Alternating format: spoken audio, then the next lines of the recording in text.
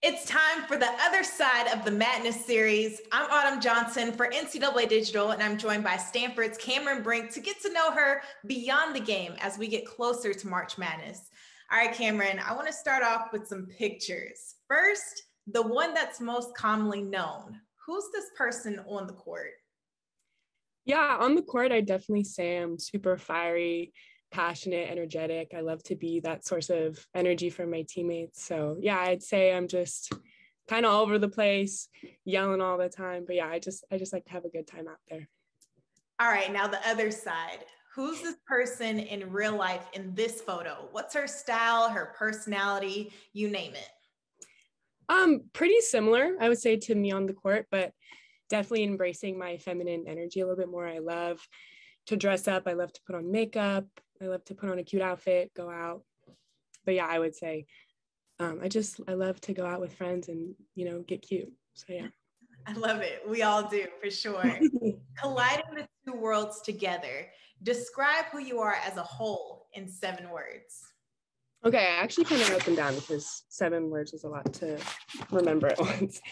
Um, so I'd say I'm passionate, determined, joyful, fearless, loyal, outgoing, and creative.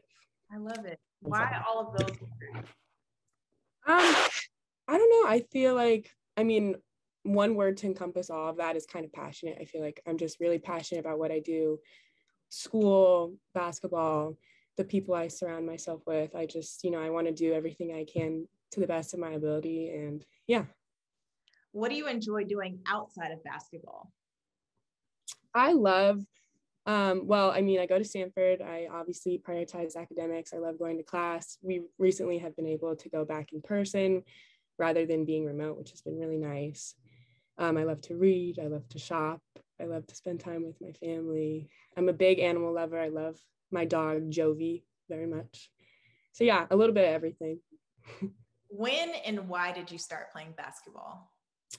Yeah i actually started off like not loving basketball. My my family is basketball family. My parents both played at virginia tech. Um, so i've kind of been surrounded by the sport my entire life and i was kind of like i don't want to be surrounded by it. Like it's too much. I don't want to do that. But then around the sixth grade i just kind of got surrounded by great coaches and great teammates and it kind of was history from there you know? I just fell in love with it. And it resulted in a championship. We love it. Yeah when did you realize that you were good at the game?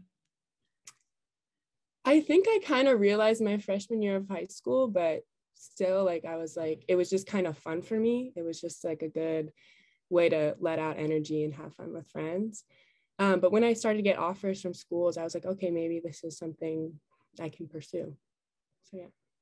And that hard work has led you to the D1 level uh, for an opportunity to compete in March Madness for you, define what March Madness means.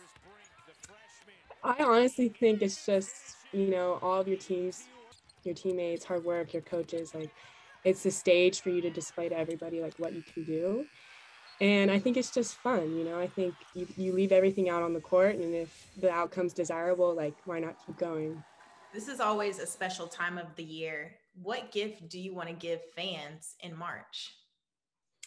I think, you know, I want to keep showing fans that women's basketball is a, a, great sport and it has so many talented athletes in it. And I, I just want to give them some in- interesting games to watch. So, yeah. Who are your heroes in March? I have so many, but I would have to say Breanna Stewart's one of my favorites just because I really want to model my game after her game. And I think she's just like an amazing role model all around. So I would say Breanna Stewart. She's incredible. And I know a lot of little girls look up to you and everyone in women's basketball. They literally crowd the sidelines of your games and hmm. view you all as heroes. What do you wish you could tell them about chasing their dreams?